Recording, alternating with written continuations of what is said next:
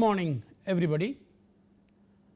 In the last two lectures we had a glimpse into how the various events are being analyzed and how we are predicting the response of different types of reactors to an initiating event. We also saw how we validate the computer codes which we have developed for predicting the response of the plant to these transients. Now, let us go into the most important aspect which is very truthfully followed right from the conception of a nuclear power plant and till the plant is designed, operated and even decommissioned. So, in this respect I will take you through uh, this lecture on quality assurance. This quality assurance is not a new word at least as far as any industry is concerned because in every manufacturing industry before we start the manufacture we do have a quality assurance plan then we go about the manufacture. So, what is a quality assurance? So, now let us look at what is this quality assurance. Basically it is a set of planned and systematic actions which need to be carried out so that an item or an operation is done to satisfy the requirements of quality. So, then what is quality means any equipment should operate reliably with maximum availability when we want it to operate. So, this in total picture is called as a quality assurance plan. Now, if I want to have quality assurance we must have list down what is our plan at every stage what I must do. So, first when we look at a nuclear power plant we look at the design. So, in design how do we achieve quality assurance? Okay, I have designed a thing have I verified my calculations? Is my model right? Here in the last lecture I gave you an example of validation. This is a part of quality assurance. Then in case we find a deviation so we need to correct it and then implement the rest of the program. So, not only that in quality assurance every stage is documented. So, the clear history is available at any stage. I can just give you an idea suppose a component has been manufactured for the fast breeder test reactor in, in the 70s. Today if there is a fault with that equipment I can trace out completely fabrication whether there was anything missing anything inspection anything I can find out all the things are documented and safely kept. So, to achieve first is as I said design quality in design then when you go to the manufacturing at every step what sort of tests I have to do, how I should satisfy myself that my manufacturing is perfect. Then I go to commissioning, when I go to commissioning when should I say my plant is commissioned, what are the things to be points to be checked, what is the checklist based on which I will say it is commissioned. Same thing in operation, how do we achieve? Then maintenance, then surveillance and in service inspection. So, uh, organization has to be set up which is responsible for quality assurance at every stage of the plant. So, in this lecture I will take you through the various aspects of quality assurance. Now, if you ask me if you say Quality assurance plan we always say QAP, QAP is a common jargon used in the industry manufacturing industry in very common. Of course in our nuclear plant we talk about it every day. So what it is? It is an endless thing. It includes procedures. It includes instructions. It includes drawings. For example you have to achieve a certain dimension and certain dimensional tolerance. Let us say I want 12 plus minus 0.1 mm in one part. Another part may be 25 plus minus 0.2 everything all these are reflected in the drawings with necessary instructions. Then when we review the drawings and any every stage where there was a review these reviews are to be recorded. Then in the QAP we also have to tell who is the person responsible and who has the authority every stage is not cleared by the same person to say yes it is ok. If one person checks there will be another person who says is it ok and these things need to be communicated up and down so that everybody is aware. So it includes interfaces between different st stages of the manufacture of the design everywhere. So interfacing is should be very clear. So a document is made it must be sent to whom who all it should be sent even that is a part of the quality assurance plan. Staffing let us say I have to operate a plant I know that there is a minimum requirement of at least one engineer in the control room and assisted by 2 operators. Then there is need for local operators at different places. So I have to tell what is the minimum staff requirements and that should be followed. Then training the people it is very common training is without training and document preparation and document control. I mentioned every stage you need to have a document then reviewing and approving who approves this document and its release and its distribution to the different agencies.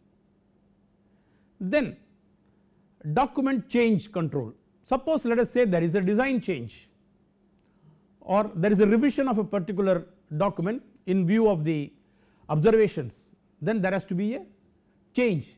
So who approves that then design interfaces the designer might have an inter to have interface with the manufacturing agency. So where is the designer come in the interface for example if there is a deviation in any manufactured product from what is indicated in the drawing there are two approaches. One is the designer looks at it he says no it is still acceptable. He agrees. So he gives a design concession to the manufacturer saying that you can go ahead. This is a document which is cleared by the designer. Otherwise designer says no it is not acceptable. He gives a rejection. So, these things are the designer interface. Then design verifications I mentioned. You must know that the design verification is there. Design changes. Maybe we had made the documents of the design. We discussed it in the safety committees. The safety committee on review let us say suggested an change. In the light of the regulatory authorities observation you make a change. This design change must be again put revisions of the design document made. Then what are the requirements for procurement and control? I have to procure a material, I have to procure a machine, what should be the agency, how we should go about it. So all these are will be there in the document plan. Then supplier evaluate a supplier there may be many suppliers of a particular equipment, but you need to buy the equipment from a supplier who has got a very reliable he should be a very reliable supplier he should preferably be a original manufacturer or he should be a very reputed agent plus he must have provision for after sales service and maintenance. So, all these need to be assessed that is where we say supplier evaluation and then selection. In fact, in the nuclear power industry before we get into ordering the components for a plant we go around manufacturers in that area and we evaluate them and then only we shortlist who are the people then only we start issuing the documents or tender documents for the procurement. Then let us say you have ordered your items are coming. So quality assurance quality control at the plant is anyway there.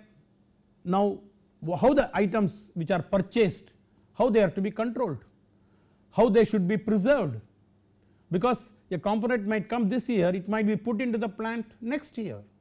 So how do you preserve it even this is a part of the quality assurance plan. Then you must be having a tag or identification of different materials, you must know where different parts are located, where should be all these things.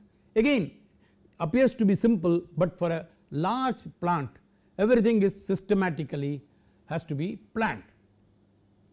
Then when it comes from the company how it is to be shipped? I forgot. Shipping is very important aspect. During shipping it should not get damaged.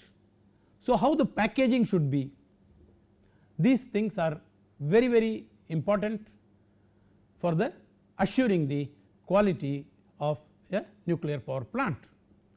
I repeat no doubt such plants are in existence for other industries also, but in the nuclear we follow it threadbare because we know that at any stage there should not be a cause for release of radioactivity due to anything which is not a quality product. Inspection, test control I mentioned. So, the inspection program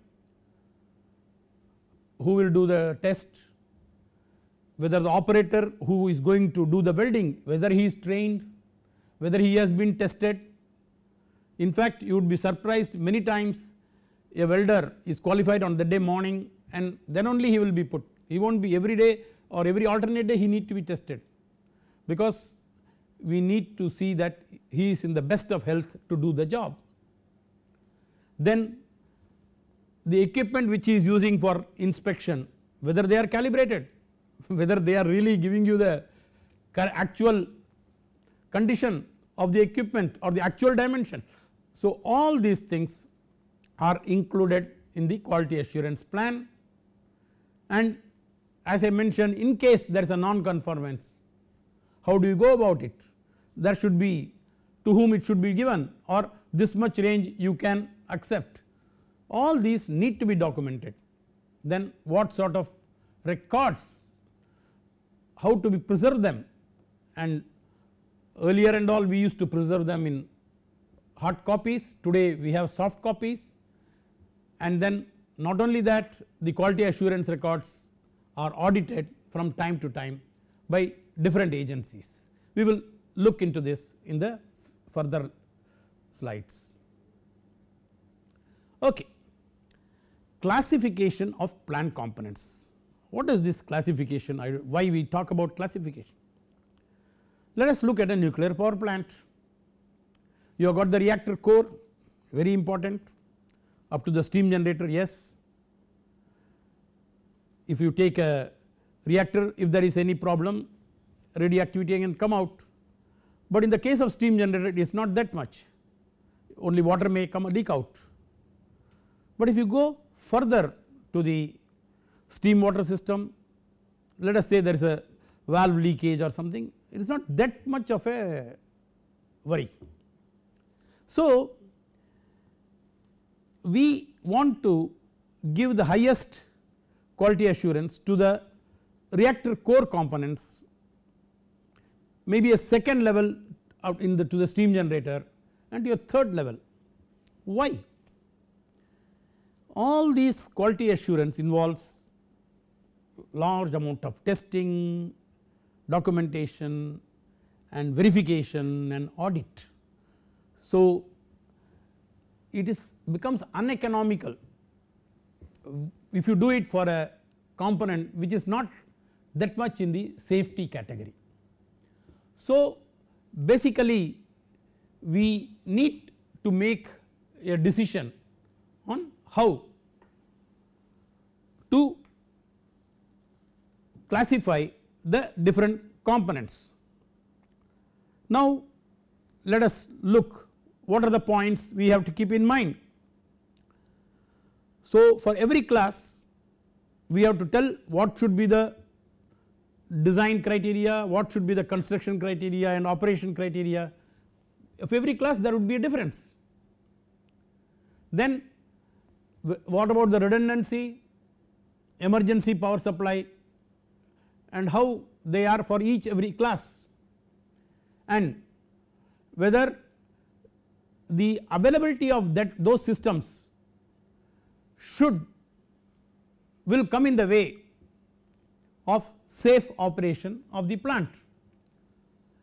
In a similar way the quality assurance also is graded. If this is class 1 on the reactor, class 2 for the steam generator and class 3 for the rest of the plant. Let us see what are the classifications. So this is basically on the safety function. You take a pressure component basically a pressure vessel yes it should be in the highest class. Then coming to earthquakes again we have to see whether that component if it gets damaged whether it can affect the operation of the plant. If it is going to operate the safety of the plant then again it has to be in a higher class. Similarly the instrumentation, the control systems again based on what sort of a safety function they need to adopt. So finally safety is the watchword. So the vessels, the pipe and the pressure components of the primary cooling system of a nuclear power plant are put in class 1 let us take we are talking about a pressurized water reactor so that you know in case of any failure of this we can have a loss of coolant accident so we need to give it the highest class. The emergency cooling system for the core anyway that will not be continuously in operation it will come only when there is a failure like LOCA which is a bit of a lesser probability so we put it in class 2. Then we look at the support systems like the compressed air system and other which are going to be supporting the emergency cooling system we put it as class 3. Then we look at the station firefighting system you know in a heavy water reactor this fire water system is used for quenching the putting the reactor core submerging the reactor core in case of a very large loca. But here there are enough industrial standards which are being followed presently. So, there is no need to unnecessarily put a another new classification. So, we follow the industrial safety standards which are being followed everywhere for this firefighting system. Okay. We come to the materials. Now, when we say the materials we will say austenitic stainless steel as per some standards let us say ASTM standards. Okay. If there is any deviation from the ASTM standards we need to mention. Then what would be the fabrication standards if it is as per ASME we can quote the relevant ASME sections and then need not stress further because most or nearly all of the fabricators know the ASME codes. Then any other additional requirements for example when we buy pipes we normally go for measurements of the pipe how they are we procure them and then we do random ultrasonic testing to know the thickness. But in case of sodium systems where the uh, austenitic stainless steel pipes are used we want 100 percent ultrasonic and when it is welded again 100 percent radiography plus 100 percent ultrasonic testing. So, these are some additional tests. So, we need to tell what are the additional tests of course the designer will specify this additional testing. Then any limits on the alloying elements? For example carbon should be less than 0.15 to 0.25 for weldability consideration. Or what sort of impurities you would not like to have which because it can cause corrosion by the coolant. So, these sort of things are to be specified. This specification has to be drawn up for the materials very clearly. Then how do I qualify the procedure you have got a certain procedure for welding and the welder has to follow that procedure and he we should satisfy that he is able to do a good sort of weld. Then the destructive tests if any of course in the case of nuclear power plants we mostly go for non destructive testings and whether there is any need to do a metallograph of the heat affected zones basically when you do welding you know the area around the weld does get affected by the heat whether it has changed any characteristics of the material if you would like to know I think that also needs to be specified. Then okay now defects are found how do I evaluate the defects and how, how much of defect I can accept. So all these things then of course in the material choice when I do I have to keep in mind that in the presence of water and stress corrosion can take place. So whether that is basically even though this is a part of the uh, design basically whether this is okay. So the material right from the beginning the fabrication everything has to be under uh, follow the quality assurance procedures. Now in the design what we do one we talk about the postulated initiating events in the last few lectures. So every event gives a temperature or pressure transient to the plant and the design is governed not only by the temperature transient or pressure transient seen it also depends on number of times because repeated things can cause fatigue of the material. So this needs to be very clearly given by the designer. Then if you look at a safety valve what should be the capacity of the safety valve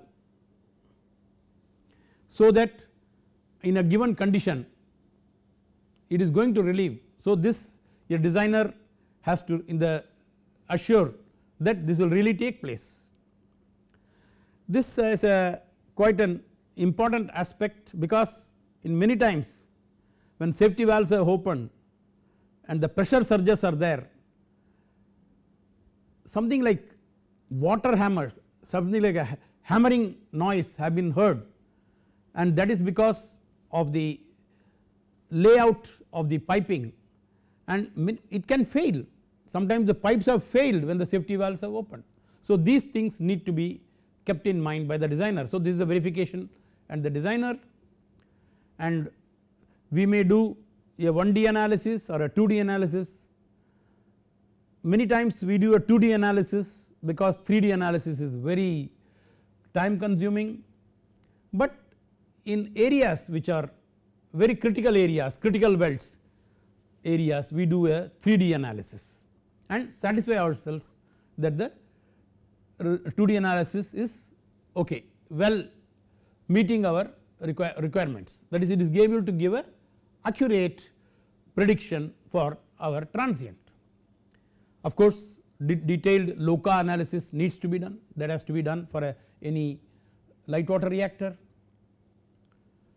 So fabrication and inspection, weld procedure qualification, then how to qualify the weld, procedure qualification, then qualifying the weld, then positions of repairs to welds and base metal. This position is very important. A component is in position in a particular position, but the operator will be having different positions. His ability to do a weld, blind weld, suppose he is here and he has to do a weld here, he can't see, it has to be seen. So what is the position all these things need to be recorded so that you know if there is a problem in the weld maybe if I change the position the weld could be repaired. In fact these are tested before we do the final weld on the actual component. Now non-destructive examination you have produced you have procured plates forgings then you must check it before you fabricate then after you fabricate also if you want to see some metallograph you need to see. Then suppose you want to do some hydro tests you need to do them and satisfy yourself that everything has been fabricated well. And record all these tests so that we can have a record. In case there is a problem we can trace out the cause or the stage at which the error has happened and once we do that we will review our procedures so that next time when we make the same component we do not get into a similar problems. As I mentioned we have to learn from our own mistakes. Nowadays it has been a practice to not only have a written record we also have a video record of the fabrication process so that we can easily find out how the thing has gone over. Then these things the customer will have a surveillance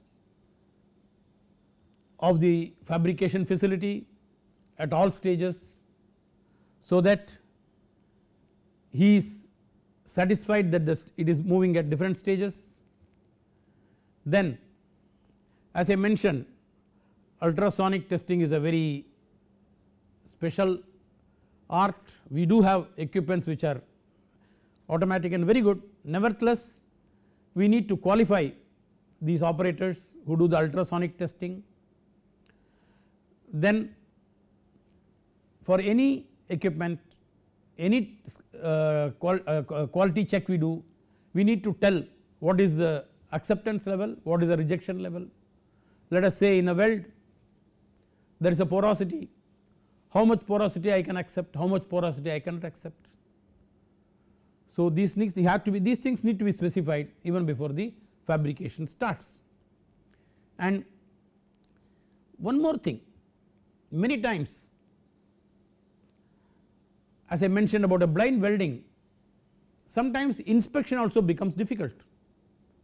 So if the inspection is going to be difficult we need to accord the highest importance to those areas so that inspectability is not there for that area no doubt it is our endeavor to all make all components fabricate all components such that all welds are inspectable but in some cases it becomes difficult. So in all these steps adequate quality assurance is very essential. Now let us say we have moved fabricated we have put in the plant we are going to commission and operate the plant. When we operate the plant we need to record what all sort of transients the equipment sees. Of course, for some components like the turbine generator all manufacturers of turbines along with their turbine they have a unit which records all the conditions through which the turbine is going when it starts, what is the temperature of the steam it receives, what is the pressure of the steam it receives, how the pressure went down, how the temperature went up, everything is recorded. So like that we need to record practically the whole plant especially the safety related equipment very close to the primary sodium system and the associated things. The reason is in case of a problem we will be able to trace when it happened and how it happened. So then in operation we have to have inspection by the quality control or by some other means so that we know in service if anything has ha happened we will know. For example, there are welds on the reactor vessel which are actually inspected from time to time to know their health because vessel pressure vessel is the main boundary for the release of any coolant and LOCA can occur. So we must see that the boundary is intact. In case we find some change in the weld based on the ultrasonic testing we can stop the reactor. Then in all places you may not be do in service inspection. So maybe you have to do the stop the plant and do the inspection. So this also will be recorded. Then let us come to the maintenance. Now there are two types of maintenance one we can call as preventive maintenance. Then in preventive maintenance we do a maintenance we know this component can get some problem let us say after operation for 6 months. So I decide after 4 months I will inspect this component and see whether it is in good condition.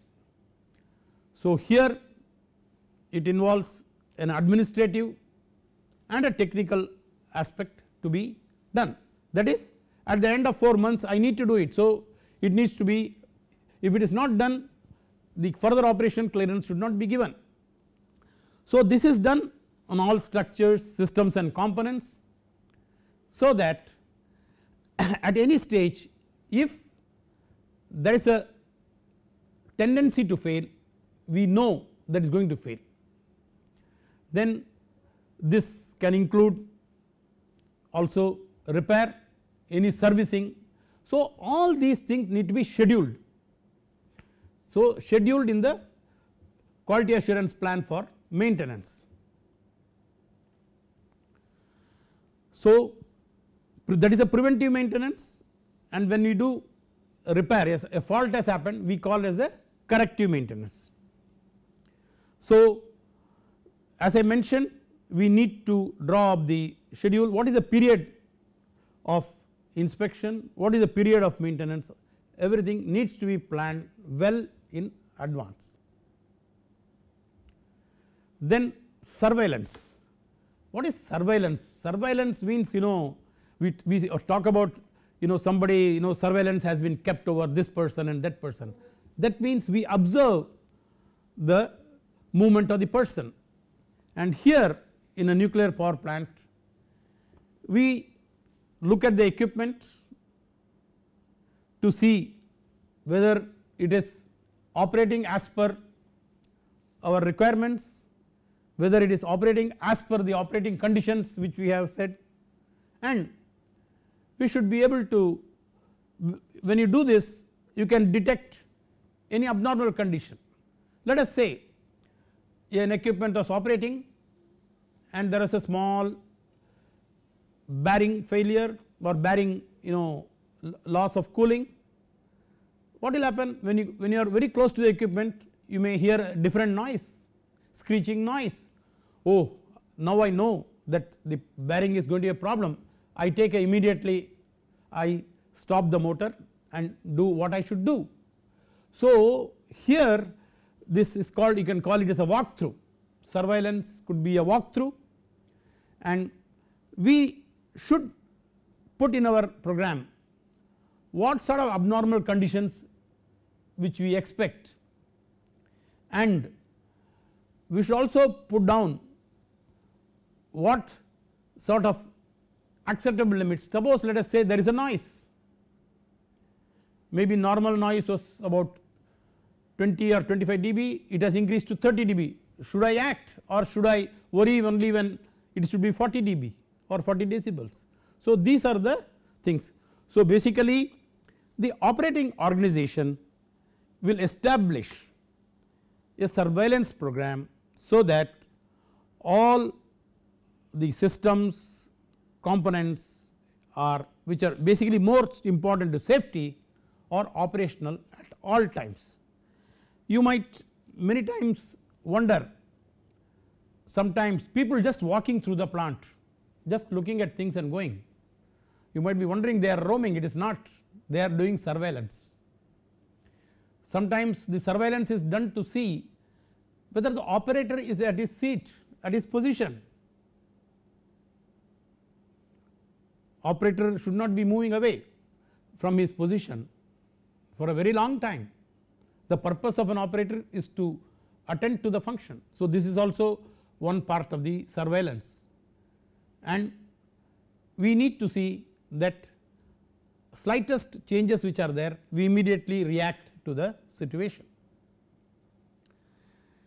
Then we come to the in service inspection. Now as I mentioned earlier inspecting the components in service is quite tough difficult. So we need to define which components are very essential for continued and safe operation and in the fabrication of that component this point has to be kept in mind that this needs to be inspected. So he has to make provisions in the design such that it can be inspected. For example, we have tube to tube sheet welding for many steam generators. Basically I am talking with reference to the fast reactor sodium cooled fast reactors and the experience has shown that the leaks in the steam generator have mostly taken place at the welds tube to tube sheet welds. Then when we looked at the tube tube sheet welds we found it is not inspectable 100 percent. So, designs developed by which the tube to tube sheet welding could be was made in such a way that it could be inspected 100 percent. So, this way in the design itself you foresee that it requires in service inspection. So, I must design such that it is inspectable and again as I mentioned emphasis is placed on inspecting the pressure boundaries because that is where our loss of coolant can happen. So, when you say something has gone wrong you require a baseline data. So, baseline data before the operation started. So, we have the baseline data when it was fabricated then we have a next set of data when it has been commissioned and then further during operation. And if you see the change in that pattern you immediately change the signature as they call you look at it. Now again I can give you another example. In one of the reactors there was a component which was vibrating inside but there are no vibration monitors which can be kept inside the plant. But they had uh, inspection ultrasonic inspection of the primary vessel. So and this was being done when the reactor was in service because it is outside the vessel and that ultrasonic probe pick, picked up some noise level and this noise level picked up they found that this is not anything to do with the vessel because the resonance frequency of the frequency of the noise did not match with the that natural frequency of the vessel. Then slowly when they studied further they found it was due to a baffle movement inside they shut down the plant and it was. So here again you see how an inspection in service inspection or a surveillance can help you. But mind you the same equipment which you used for inspecting earlier should be used later you should not because again the calibration everything would change. So this is a very important aspect to be kept in mind.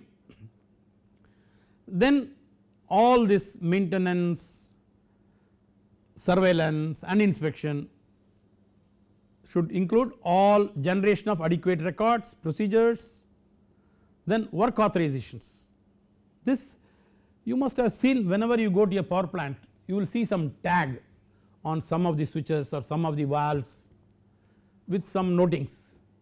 Basically it is an authorization given based on a work permit. Suppose uh, the maintenance person needs to do maintenance on a certain equipment, he just cannot go and start doing something the, the plant might be in operation.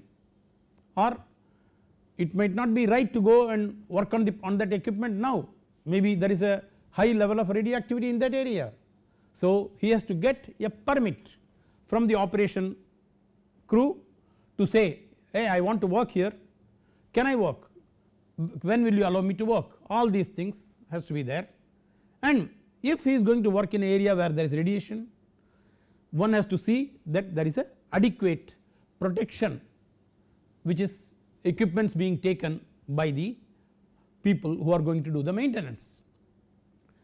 Again calibration of whatever tools and equipment they take you should not forget industrial safety.